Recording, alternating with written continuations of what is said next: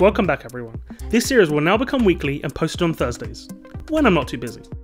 To paint the town red is to celebrate spectacularly. You might paint the town red with a girls on a night out, or if you got into some mischief on a drunken bender. According to the town of Melton Mowbray in England, the phrase can be traced back to a legendary night of partying in 1837 by Henry Beresford III, often referred to as the Mad Marquis. The story goes that while heavily under the influence, he asked to be let through a toll gate without paying.